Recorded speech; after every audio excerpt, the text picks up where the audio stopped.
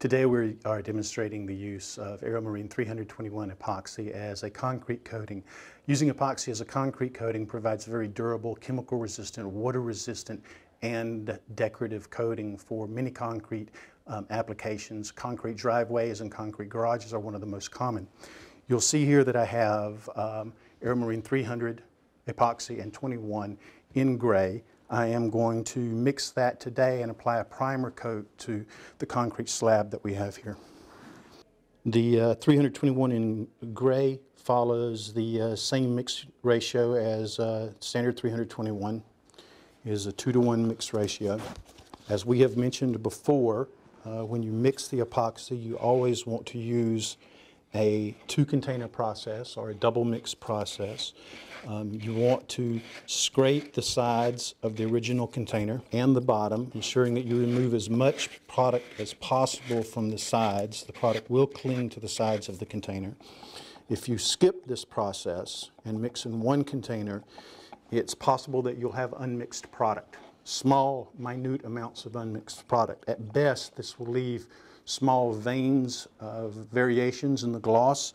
At worst, it will leave veins of uncured tacky epoxy on your garage floor. So after mixing for two or three minutes, we transfer the contents into the second container. Clean mixing stick, mix again, 30 seconds to a minute is plenty.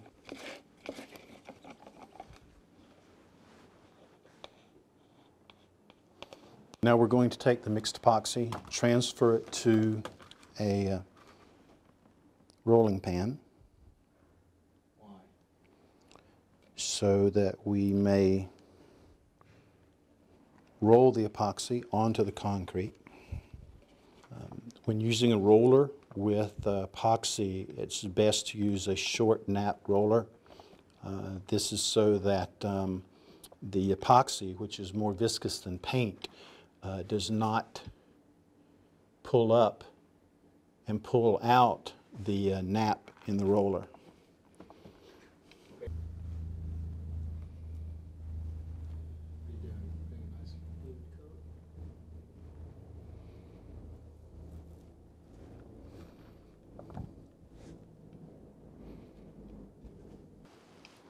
Okay, first coat is done. Um, Work life on 321 is usually 30 to 40 minutes. Bear in mind that the concrete slab acts as a heat sink, so you may see mm, an hour, depending on ambient temperature, before the epoxy starts to set. Uh, what we're going to do now is allow this coat to set.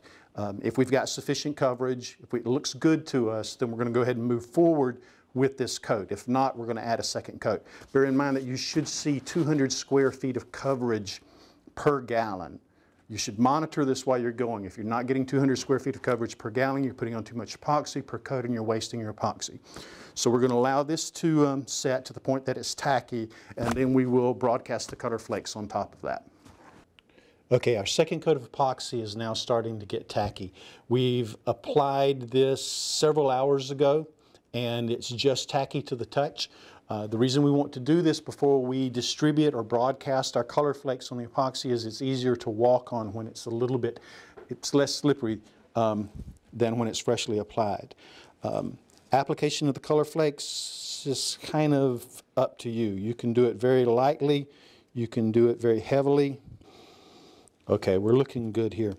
Um, we are, by the way, using uh, quarter inch uh, color flakes. Um, these come in eighth inch, quarter inch, half inch, um, also come in um, 1 32nd of an inch if you're looking for a finish that looks very much like granite. Um, once we're done with this, we're going to allow this to set up overnight to fully cure and then tomorrow we're going to come back and we're going to sweep the loose flakes off of it and we're going to apply our top coat.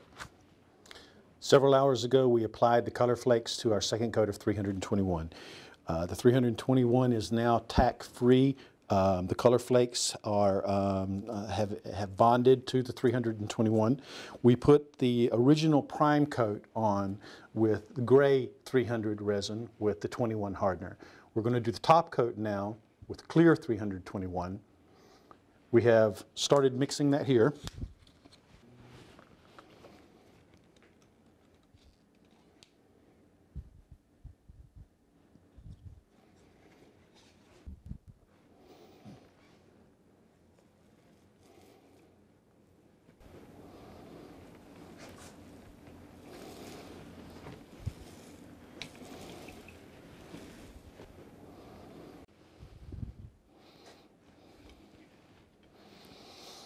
Okay, that's our first coat of the clear top coat. Uh, we will wait until this gets just past the point that it's tacky, where it's safe to walk on it again. That's six to eight hours from now, or let it go overnight. Put another coat on tomorrow morning.